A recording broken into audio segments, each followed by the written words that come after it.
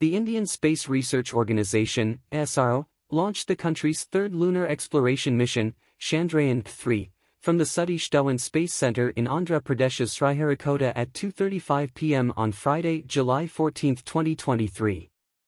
Chandrayaan-3 mission, which aims to put a lander and rover on the moon, follows the Chandrayaan-2 mission of 2019 which failed in its last leg.